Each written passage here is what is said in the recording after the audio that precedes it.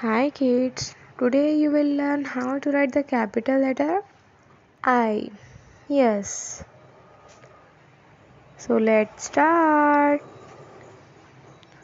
First, a standing line. Then, small sleeping line at the top and one more small sleeping line at the bottom. Yes, it makes I.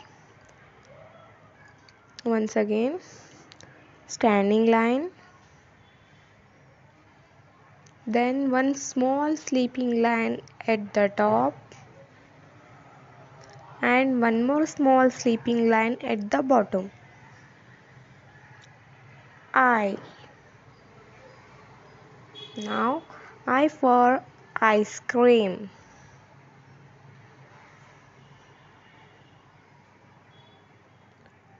Thanks for watching.